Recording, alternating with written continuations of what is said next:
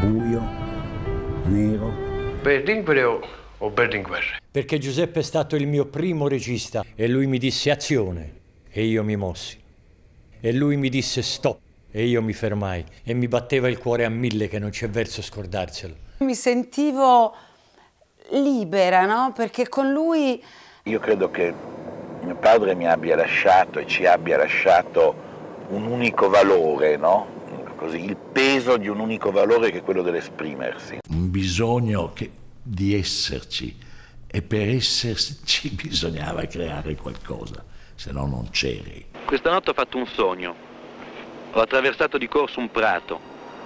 Erano i posti della mia infanzia.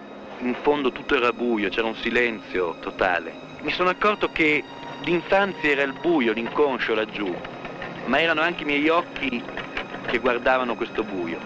E il cinema è un po' così. L'infanzia è la memoria del nostro secolo, del Novecento. E dentro la Pulcine Presa cosa c'è? Un film. E secondo te come dovrebbe essere fatto un film su Villa Marini? Bene. Eh.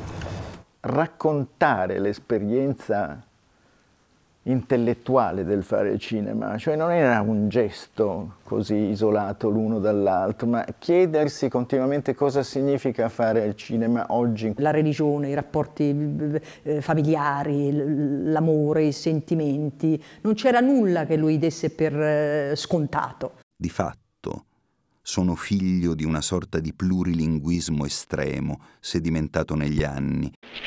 Laggiù stanno facendo del cinema ricco, quassù stiamo facendo del cinema povero. Chissà se alle nostre spalle qualcun altro sta facendo del cinema.